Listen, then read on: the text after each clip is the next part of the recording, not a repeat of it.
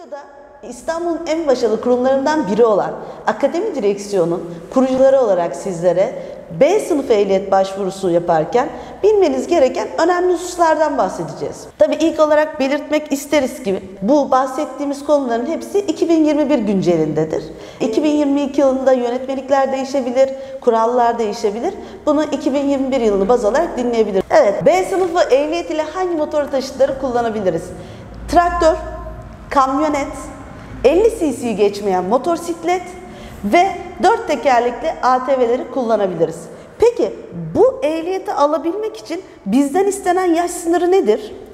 B sınıfı ehliyeti alabilmesi için e, öğrencilerin yani kursiyerlerin 18 yaşını doldurmuş olmaları gerekli. Hatta bir günde almış olmaları gerekli 18 yaşından.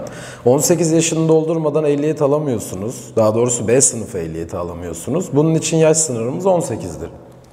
Peki 18 yaşından aşağı alabileceğimiz ehliyetler var mı bizim kurumlardan? Tabii ki var. Şu şekilde var. A1 sınıfı diye adlandırılan yani küçük motorları 125 cc'ye kadar kullanan motorları A1 sınıfını alabilir 16 yaşındaki bir kursiyer. 16 yaşını doldurmuş bir kursiyer.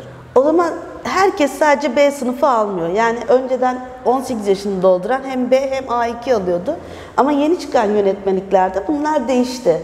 Artık motosiklet kullanmak isteyen gençlerimiz küçük kahvalıda olsa 16 yaşında A1 motor ehliyetini alabiliyorlar. Evet. Şimdi konumuz tamamen B sınıfı olduğu için bu konuyu ayrı başlıkta başka bir videoda kesinlikle izleyeceğiz. Genç arkadaşlarımız merak etmesin. Şimdi ben B sınıfı ehliyet almak istiyorum. Motor taşıtlar sürücü kurslarına gideceğim. Benden hangi belgeleri isteyecekler? Şimdi hangi belgeleri isteyecekler? Ee, öncelikle iki adet biyometrik fotoğraf istiyorlar. Tabii bunun adedi artabilir, kurumdan kuruma Bu değişebilir. eskiden vesikalık olan resimler kabul edilmiyor. Doğrudur değil mi? Evet, arka fon beyaz olacak şekilde hatta yeni pasaportlarda, kimliklerde ve sürücü belgelerinde hep biyometrik fotoğraf kullanılır.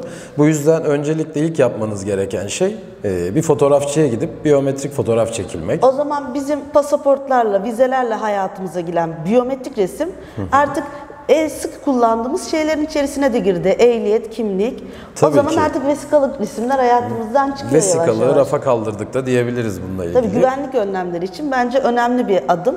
Çünkü yüz e, hatlarınızın daha belirgin olduğu bir fotoğraf olduğu için sınavlarda e, güvenlik aşamalarından daha rahat Tabii ki ilerleyen videolarda bunu da aktaracağız size. Çünkü sınavlarda yüz tanıma sistemi var artık. Ee, Bununla ilgili biyometrik fotoğraf isteniyor e, Milli Eğitim tarafından. E, İlk yapmanız gereken şey tabii ki bir fotoğraf çektirmek. Bunun haricinde ikinci olarak e, bir sağlık kuruluşuna gidip e, sürücü olur ibaresi olan bir sağlık raporu almanız gerekli. Bunlar için sağlık ocakları Aile hekimleriniz verebiliyor doğru. evet ücretsiz olarak ocakları. Devlet hastaneleri verebiliyor, özel hastaneler de veriyor. E, yeter ki dediğimiz gibi üzerinde sürücü olur ibaresi olsun. Bu birinci grup sürücü olur olabilir, ikinci grup olabilir. İlerleyen videolarda bunları da açacağız. Daha detaylı bilgiler de paylaşacağız sizlerle. E, ikinci yapmanız gereken şey bir sağlık raporu çıkartmak. Peki sağlık raporundan geçemeyen adayımız ehliyet alamaz değil mi? Sağlık raporunu alamıyorsanız tabii ki de ehliyet alamazsınız. Peki bir önemli husus da adli sicil değil mi? Evet. Adli sicil konusu çok önemli. Eğer adli sicilinizde ehliyet almanızı engelleyen bir TCK maddesi varsa ehliyetinizi alamazsınız. Bu e, konuda e, ciddi bir denetim mevcuttur.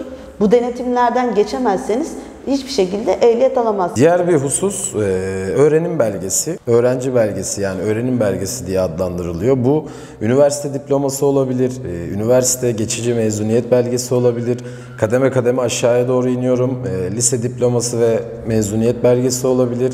İlkokul diploması olabilir ve eğer ilkokulu bitirmediyseniz eğer e, halk eğitim merkezlerine başvuru yaparak ilk önce birinci kademe okur yazar belgesi alıyorsunuz. Ardından yine bir eğitime tabi tutulup e, ikinci kademe okur yazar belgesi alıyorsunuz.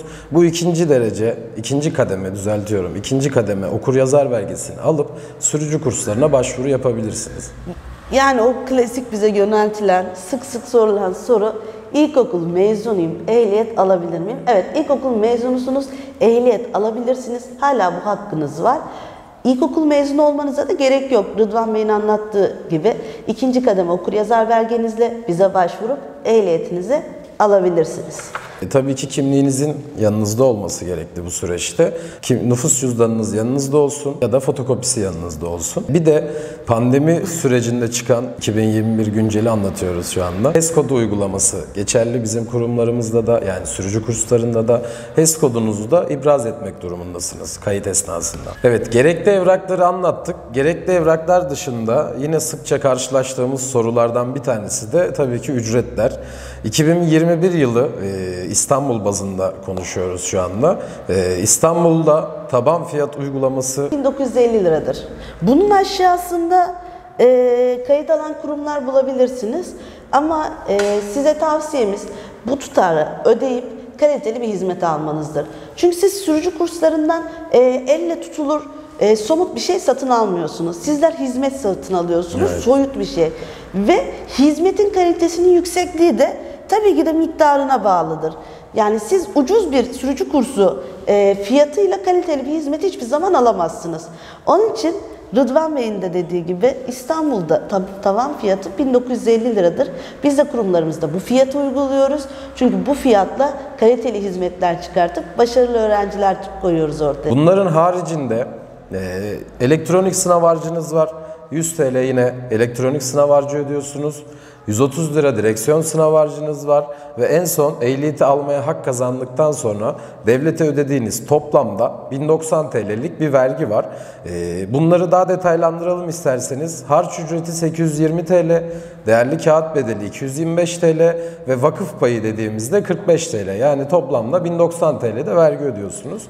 Peki ehliyeti alırken e, biz böyle tutarlar insanların önüne koyuyoruz Rıdvan Bey ama e, harçlarda değişiklik olabilir tabii ki de. Şöyle düşünün elektronik sınava girdiniz ilk sınavda başarısız oldunuz. Bu verdiğiniz ilk başta Rıdvan Bey'in bahsettiği 100 liralık ücreti tekrar ödüyorsunuz. Yani toplam tutar değişebilir. Bunun için de artı dipnot belirtmek istiyoruz. Bunun açılımı da elektronik sınavla ilgili verdiğimiz, bilgi verdiğimiz videoda ne kadar sınav harcı, kaç tane hakkınız olduğunu belirteceğiz. Bahsettiğimiz hususların hepsi sizde varsa, hiçbir engeliniz yoksa sizleri akademi direksiyona bekliyoruz. En kaliteli hizmeti almanız için biz buradayız. Trafik kurallarına uyduğunuz Emniyet kemerinizi taktığınız keyifli sürüşler diliyoruz.